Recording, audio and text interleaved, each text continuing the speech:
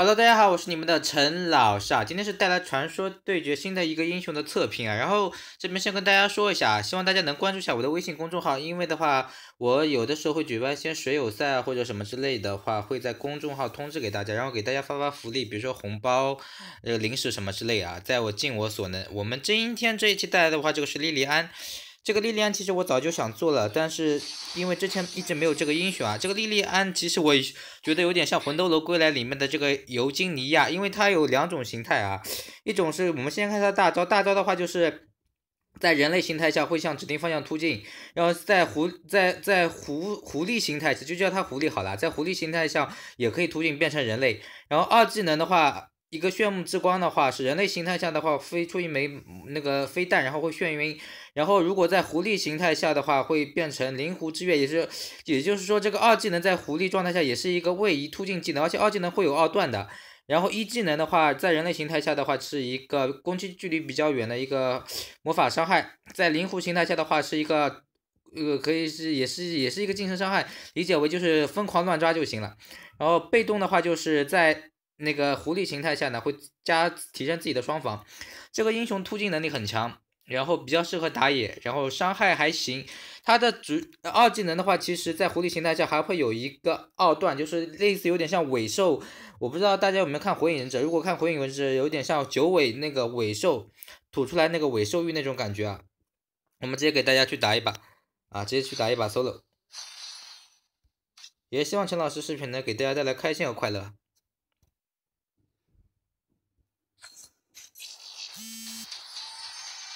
你这么快，咱们选择在斩杀这个技能啊，斩杀技能，斩杀瞬移都可以。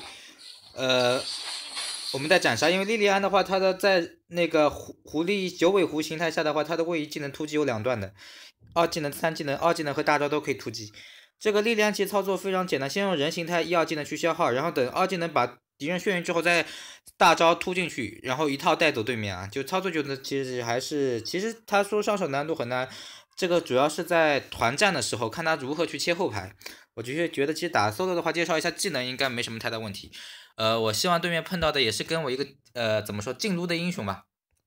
对面的话是是是这个是韩信啊，江孝贤，这个纳克洛斯是韩信，这这么你拿拿纳克洛斯来单挑，行吧，来吧。这个纳克洛斯是韩信啊，韩信韩信。位移很灵活，但是血量脆的脆的跟什么一样。纳克洛斯也是属于近身一个英雄，我们主要注意不要被他一技能一技能挑起来就可以了。注意不要被他一技能挑起来。咱们先等一下，啊，咱们先打兵，咱们先打兵。哎，没事没事没事，我们血量先补一下。他竟然直接先打我，你这我们先打兵，我们先打兵。来来来来来来来，不急不急不急不急不急不急，往后拉一拉，往后拉一拉，往后拉一拉，这个血包应该要好了。咱们刚开始的话，先示弱一下，往后拉一拉，啊，往后拉一拉，往后拉一拉，因为前期的话，他毕竟有控制技能啊，纳克罗斯一技能挑起来，控制技能他是先手，所以说的话比较比较头痛。咱们等到四级之后再去搞他啊，四级之后这出装还是会的。啊出装还出这个，还出抵抗之靴啊！我等他突进来的那些，来来来，哎，走了，没血了，你还敢过来啊？他这一波肯定是必须得是回城，然后咱们第一件吸血书啊，因为吸血书被动有个护盾，然后这一波血包的话，咱们先吃掉，因为他的位移技能纳克洛斯韩信太灵活了，我就叫他韩信嘛，好吗？叫他韩信啊，你用韩信来单挑，行大招突不进啊，先慢慢来。等一下，等一下再大招啊！刚才那一波大招位移距离不够啊！你妈找死你！哎，尾兽玉，再见！哎哎，还差一丝，这个尾兽玉没打死他啊！尾兽玉没打死他，差一点点。但是这一波的话。韩信如果一旦被我们拿了一血，就基本上没救了。哎，你哎，想干嘛想干嘛？来来人爆来来狐狸形态来来尾兽玉来！哎呀不行啊，没打中他。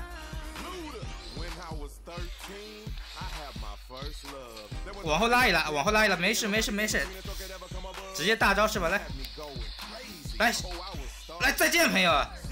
哎，这个我想，纳克罗斯大招是比较吃经济的，咱们就是这个在人形态和豹形态，不是说错了，不是豹形态，人形态和狐狸形态不断的切换。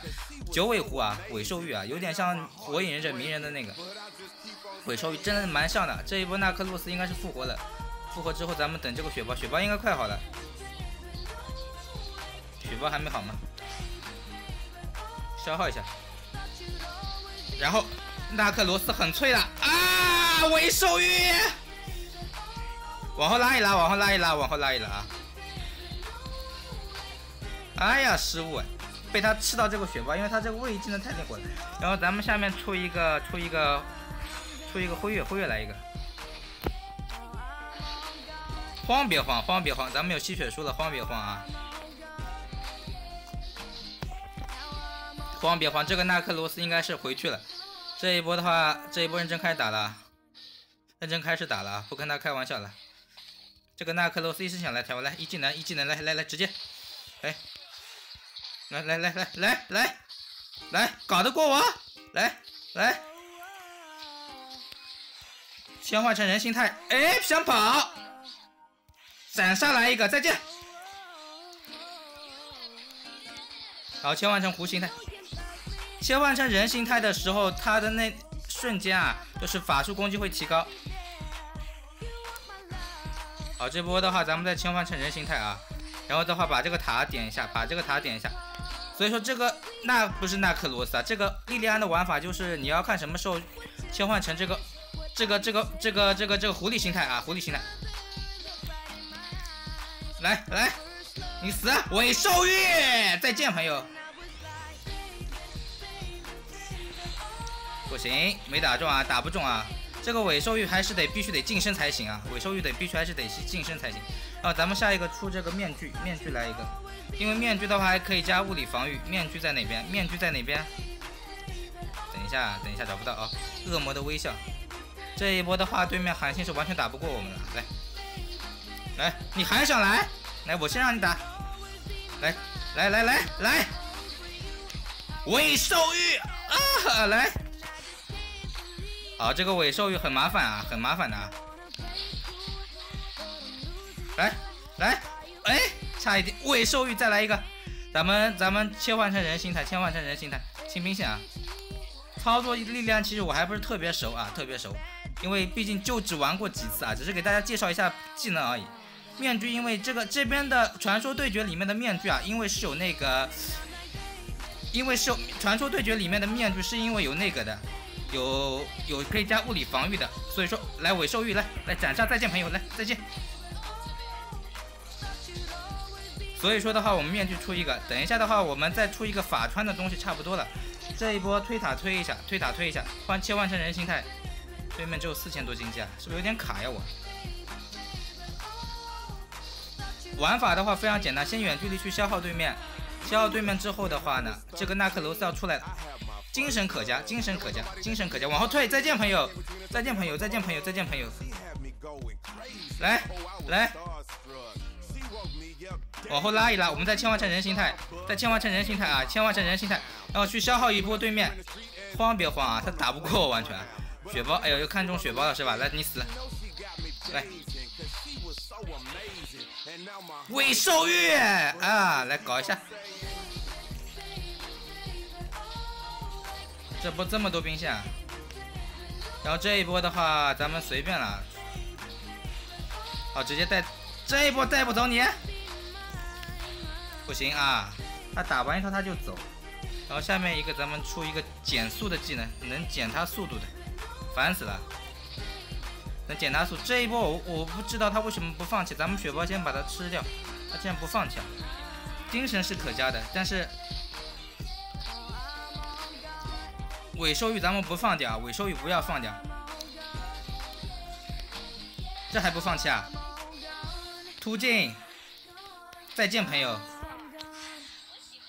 然后切换成人形态的时候呢，我们豹形态说错，狐狸形态如果因为魂斗罗归来玩多了，狐狸形态如果一套带不走的话呢，我们马上切换成人形态，然后用远距离技能去消耗它，玩法就其实还是比较简单的。这一波咱们有辉月，再加上他有一个双防，所以说的话，应该这个防御应该是够的啊，防御应该是够的。他还要来，我靠，还不放弃啊！这一波你经济跟我差很多了，兄弟，兄弟。你还要来，勇气可嘉，勇气可嘉。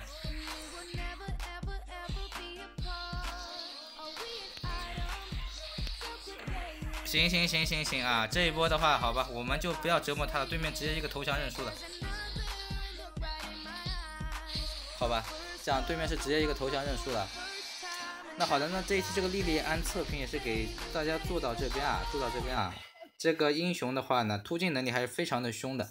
可惜我没有没打好呀，那我们下期再见了，拜拜。